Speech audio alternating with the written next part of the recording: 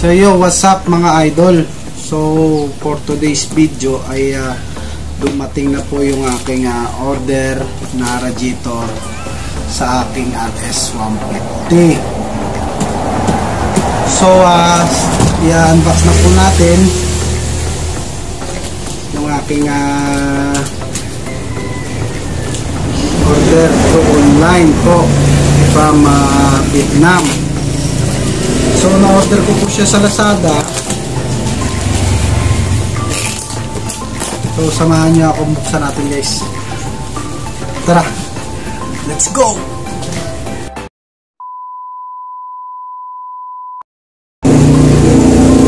So, yun nga mga idol.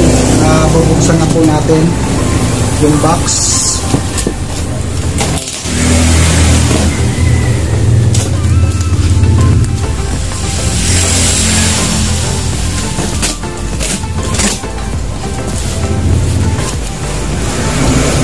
So ito po ito po pala yung aking uh, lumang radiator na uh, uh, na i-vlog ko na may butas.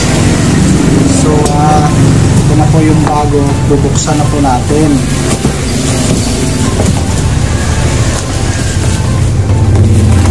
So yun, isa pang box. So yun, looks pareho na pareho.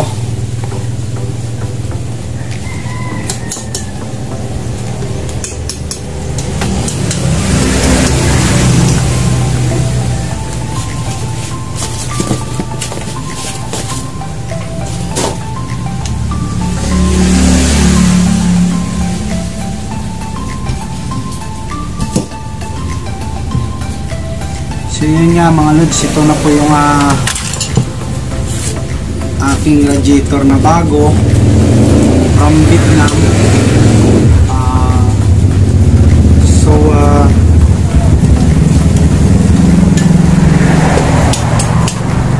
so ikakabit na natin sa aking uh, RS150 so samahan nyo ako. Kabit na natin. Tara! So yun mga idol uh, ikakabit na po natin yung bagong radiator natin. Kakabit na po natin sa RS ko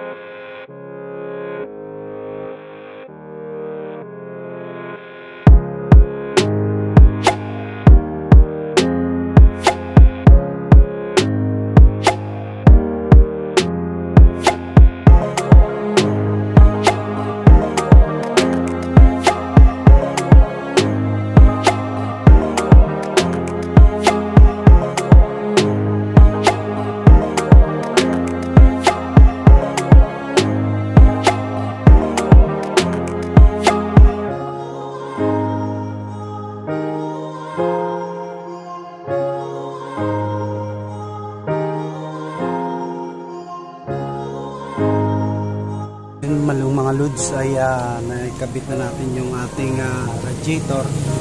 So uh, lalagyan na po natin ng uh, ulan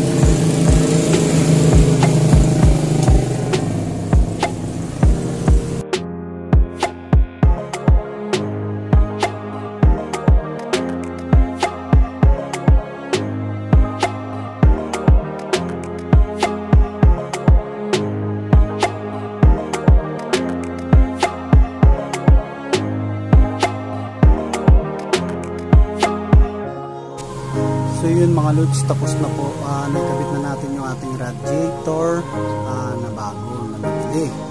So uh, kakabit na po natin yung uh, mga pairings ng aking motor.